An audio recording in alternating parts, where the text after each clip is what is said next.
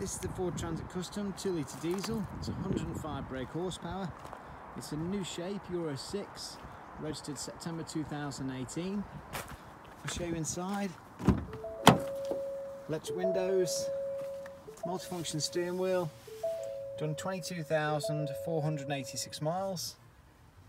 It's also got a six-speed box.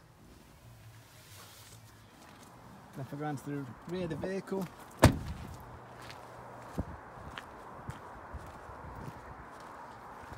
I'll show you inside. Car line throughout.